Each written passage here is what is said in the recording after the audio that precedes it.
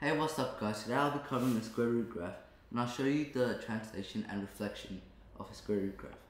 I've got my graphing calculator here, GeoGebra, and I've got my four quadrants and four equations, as you can see right here. Now I'll show you how to do this just in a sec, but let me show you the first example.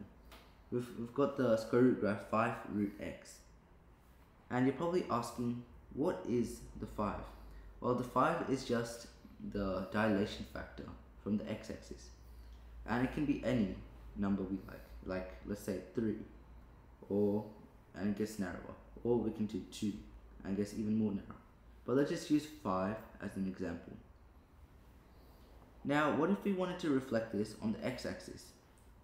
Then we'll have to add a negative sign in front of the function and it'll get reflected, as you can see here and it gets reflected on the x-axis. Now what if we wanted to reflect it on the y-axis? Then we'll have to add a negative sign in front of the x and it'll get reflected on the y-axis as you can see here.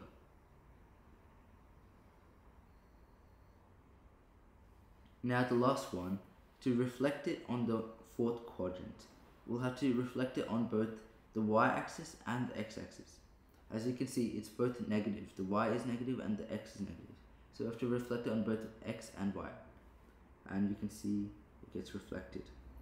You can see the negative 5 and the negative x. Doesn't this kind of look like the Olympic colors? That's pretty cool. Anyway, let me show you how to translate the graph now. Let's begin with the first example. We've got 5 root x, and what if we wanted to move this to the left or right? So if we want to shift it to the left or right, to shift it to the left, we'll have to add, and anything we add will get shifted to the left, and adding to the x-axis, like this. Let's say 20. So it'll get shifted to the left. Now, what if we want to shift it to the right? Then we'll have to minus 20 or whatever number you want. And it gets shifted to the right. Now let's go back to our normal equation. And what if we want to shift it up or down? Well, you'll have to, you'll have to, if you want to uh, shift it up, then you'll have to add. Whatever you add will get shifted up and gets added to the y-axis.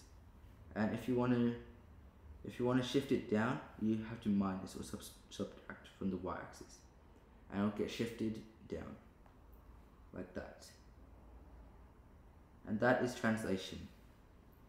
Now we've covered the translation and reflection. Let's move on to an example and I'll show you how to do this just in a sec.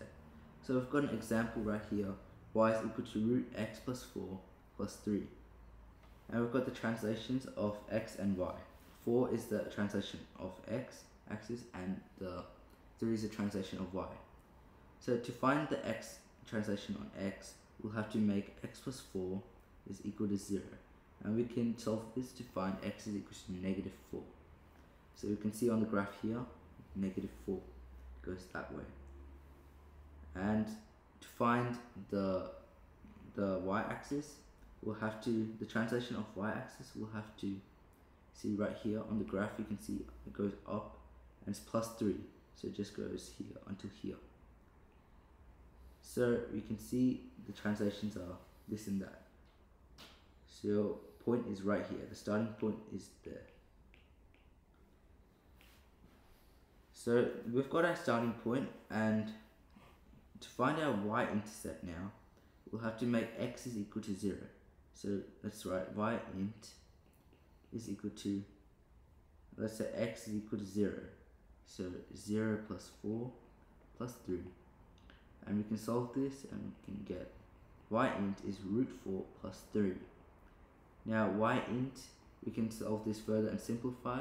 So root 4 is just 2 and plus 3 and then y int is equal to 5 and we can see our y-intercept is 5 let me just move this so you've got space. And